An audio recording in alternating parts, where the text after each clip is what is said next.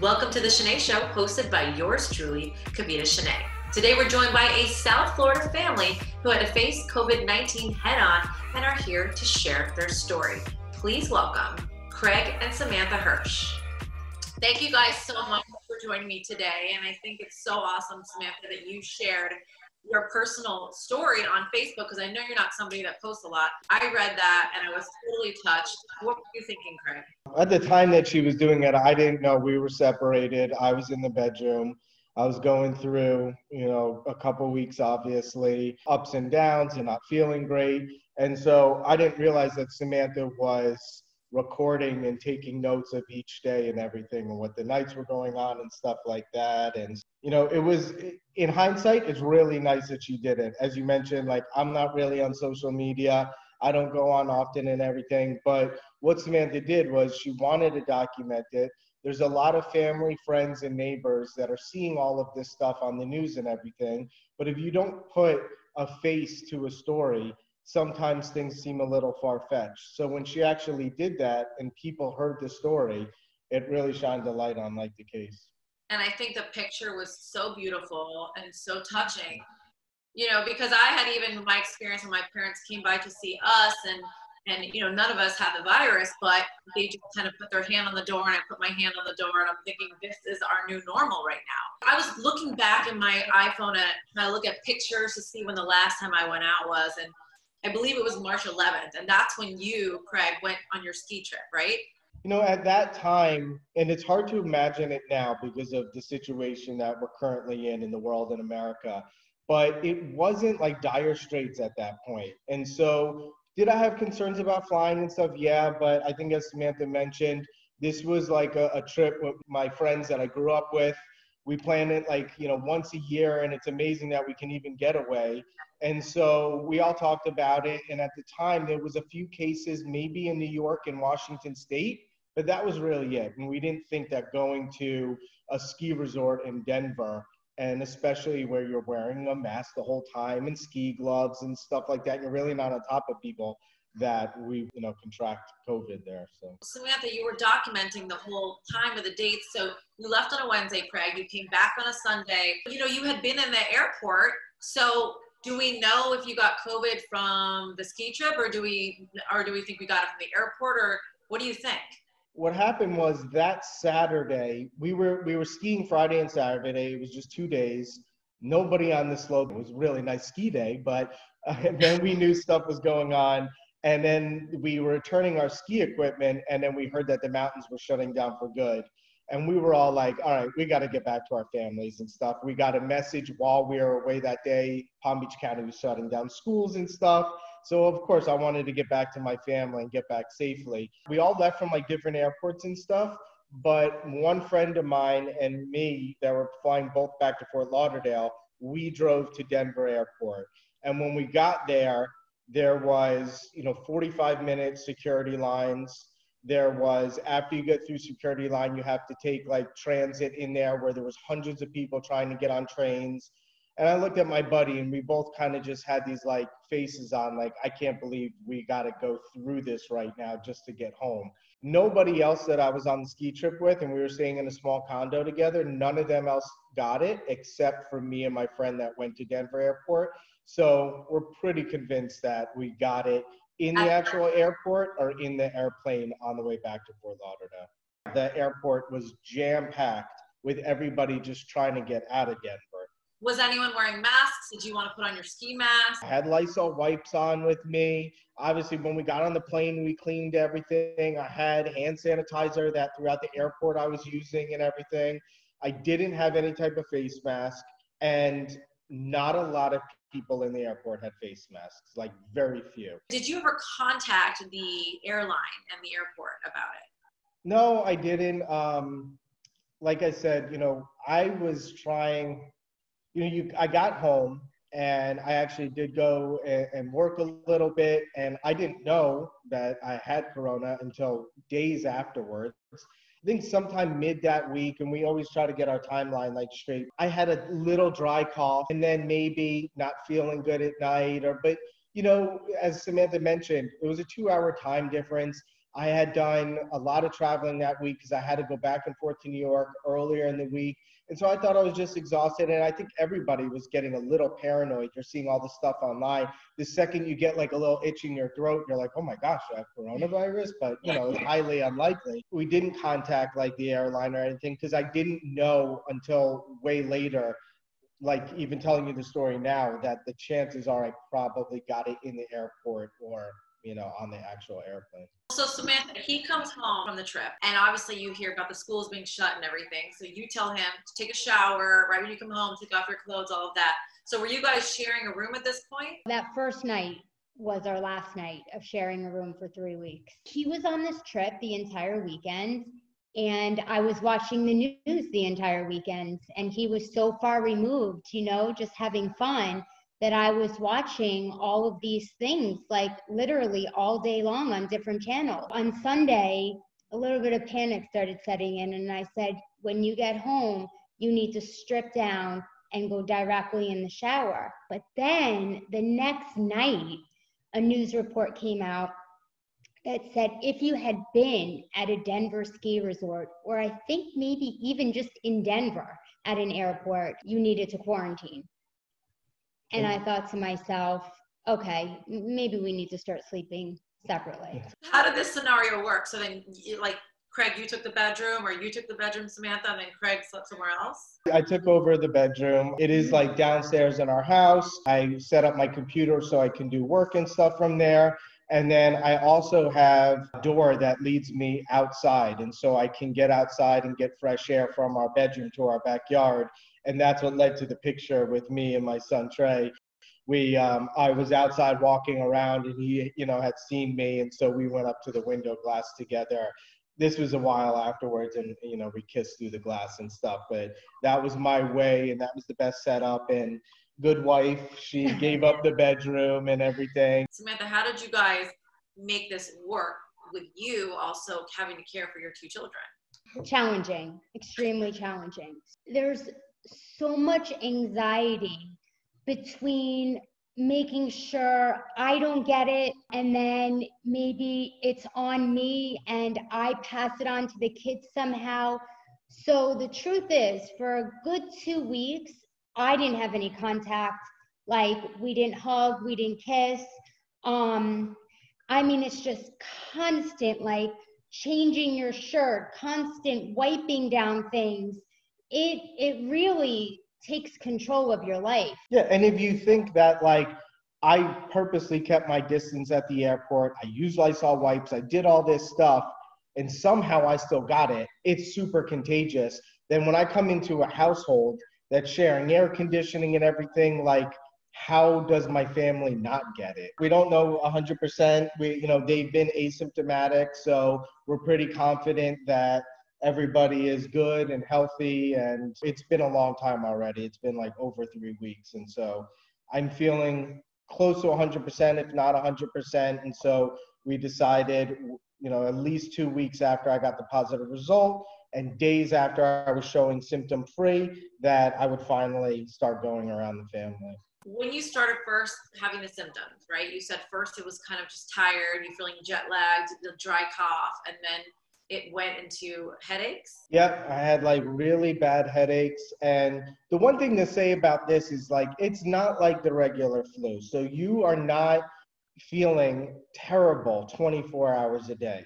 There were so many days where I woke up, I would take a shower, I would feel good, and I'd say to Samantha, I'd walk around the backyard, I'm feeling good, I think I passed this, it's over.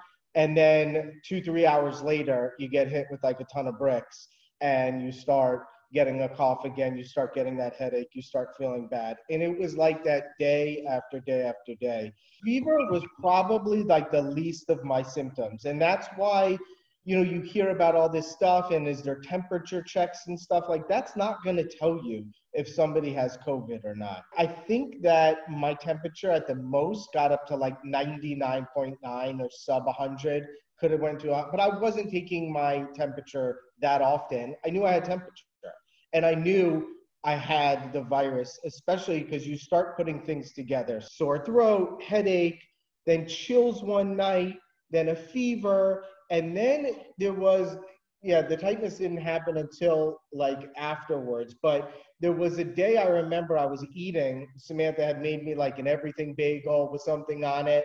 And I said to myself, I can't taste this at all. And this was before reports came out that people started losing their sense of taste and smell. I just remember saying to myself, and it wasn't like a stuffed nose. I had no congestion at all with this. It was just like I couldn't do it. So I went into the bathroom and I remember I took my cologne and I put it underneath my nose and I couldn't smell a thing. Wow. And I said to myself, and I remember telling her, I go, Sam, I can't taste or smell anything for the last two days. And she's like, I just read this article that people are starting to say that this is a symptom of it.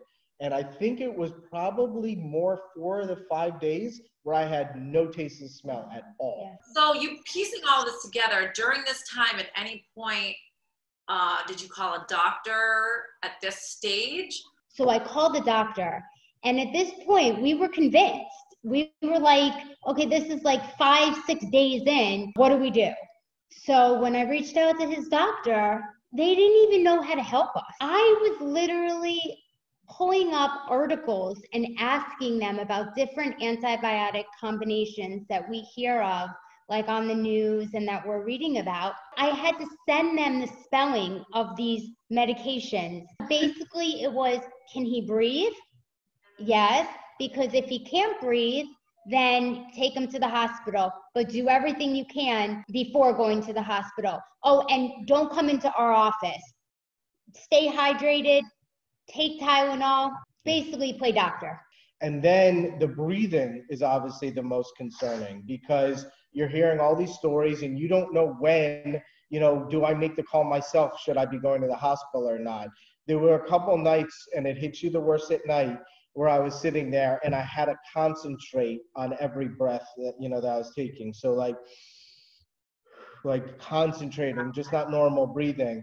And then, you know, I was able to calm myself down and not like overly panic, but I could see how people could easily do that. You have to calm yourself down, go with it instead of fighting it you could freak yourself out and you could start thinking, oh my gosh, and then that even just leads to more panic and heavier breathing. So I did, I sat there and I calmed myself down. I concentrated on breaths until I fell asleep. It was like that for a couple nights up until the night that I actually got tested. Family member I told us that MedExpress started doing this. So Samantha was calling around. It was late at night. It was probably six. They're like, if you get here, maybe 5:30. If you get here before six, we could probably take him. We jumped in the car. She had a mask on. I had a mask on. She drove me there. It was probably one of like my worst nights or feeling sickness wise. I was having trouble breathing at the time. And so we go there and then we call them and say, we're pulling into the parking lot. And then so they say, okay. And you see about five or six other cars just sitting there parked in the parking lot and people in their own cars. And then so they called me about 30 minutes later went over all of my symptoms. I told them I was flying. I had to meet certain criteria in order for them to test me. Then they said, okay, we're going to give you a call back. And when we do, you need to come to the door. We'll give you a mask and then we'll. So they weren't letting anybody in. And then so as we're waiting there, we just see one by one people walking up to the door as they're getting the phone call from their car. And like Samantha said, it was just surreal. So probably 45 minutes to an hour later, they called me. They said, Craig, come to the door in two minutes. I come, a nurse comes out fully gar- dressed head to toe with protective layers. They put a mask on me. They brought me inside. They took my vitals. They listened to my chest. At the time, they weren't concerned about like pneumonia or anything from just listening to my breathing. They gave me a regular flu test at first because they can get that results in 10 minutes. They came back in 10 minutes and said it tested negative for the flu. So they said, we're going to give you the COVID test. And then that's when they took, you know, this like, this long thing. And they said 15 seconds on each nostril. And you pull the mask down. So it's just like this. And granted, I'm sick and she's taking it and going 15 seconds and i'm doing everything not to like gag and get sick on her and it's just, and she kept saying to me like you got to calm down you got to calm down but they are shoving it up 15 seconds and then next one 15 seconds for a total 30 seconds I mean, it was a terrible experience. I thanked them for what they were doing because they're exposing themselves to people that probably or think that they had COVID. What did they tell you? And how long did the results come in? Seven to 10 days. And I'm like, seven to 10 days. Yeah, while you're in the midst of it. And granted, like I said, I knew I had it we did want to get like the test results. We wanted to have it documented. We wanted to try to help out the state with getting their numbers accurate and everything like that. And also whether I'd have to like provide that evidence down the road or whether, you know, I'm going to try to get the testing done for the antibodies so I could possibly donate blood and help some people out and everything like that. And so we did want to get a test. I believe it was either seven or eight days later I did get a phone call and she said you tested positive and I was like, you know, it's not a surprise. I was still sick at that time. You can survive this. You can get go through it without going to the hospital. You need to take it serious and you need to protect yourselves and it's very contagious and you do not want to get this. And obviously some people get it for like 2 days and they're okay and some people get it much much worse or in the hospital. Unfortunately, people are dying in the thousands but you know we just look at each other and i was very fortunate although it was a longer ordeal and i was sick and everything like that we got out of it at the end. You ever worried to the point where you're thinking, oh my gosh, like, am I going to make it out of this? There were like two specific nights where one of them, I walked in to the bedroom and that he had this like look in his eyes. It was like fear. I said to him, like, what's wrong? And he said to me, I can't imagine you feeling like this. I don't know what you would do because I have respiratory issues and my son does as well. We have asthma. To hear that and know that he does downplay a lot of it, and he had at that point to keep us calm. And then to see the fear in his eyes and how he was like struggling for breath is kind of like, oh my God, like, what do we do? We should really be like jumping from the rooftops that we're one of the lucky ones. The outcome isn't always bad. And you do hear about reports of, of a lot of people that end up in the hospital. And the sad part about this is they're not allowed to have family and friends come to the hospital once they're there. And some of them sadly die alone. That's the scary part. I said to Samantha, I am not going to the hospital. Like, and I tried and that's why there's a couple nights when I just calm myself down and everything. And obviously, people need to go to the hospital, right, for certain things. But I that was like the last last resort because, like you said, once you go there, you're you're not seeing your family and everything, and who knows, you know, what happens when you actually go in there and stuff. And so, very fortunate and just you know lucky. Most people are quarantining at home, healthy. You guys have, have this whole ordeal happen and now you're kind of trying to get back into the regular routine. What's it been like and how has life changed? It's been great that we get to hug and we all get to kiss each other, and that's been like incredibly amazing. And I'm not so concerned with the washing down so much, so many times a day, and stuff like that there is some anxiety on our end because again we don't know if we were asymptomatic we don't know if we got it. Hopefully, you know, soon we'll have like the antibody tests and we'll all be able to, we got the virus. Is there anything that you want people out there to know besides anything that we've spoke mm-hmm. about? Well, on social media and stuff and on like my Snapchat, people are still hanging out with their friends. Like people aren't taking it seriously. People are like, oh, they're social distancing, but then you see them like taking pictures together and stuff. We want to get like this virus to calm down so we can like go on vacations and see our friends, then we should be social distancing. I agree. Totally. You can't be hanging out with your friends and then saying that you're quarantining. I know that we are all cooped up inside. I know that like kids can get annoying and husbands can get annoying when you're not with them, used to being with them all the time. But honestly, enjoy every second of the time that you have with your family because there were a lot of um, emotions um, that have gone on over the last three weeks uh, that I don't wish on anybody. At the very first, I didn't want Samantha posting this. I didn't want people knowing I had it and stuff like that. But, you know, in hindsight, I'm so glad she did. And everybody was very respected for it and concerning and people had ordered us meals and just done a lot of stuff and it just shows you you know what good friends you have and how good of the community is and everything like that. And so It's been, yeah, it's very been nice. very nice. Thank you so much for coming on and talking to us. Thank you. Yeah, Thank you for seeing you. having Thank you. us.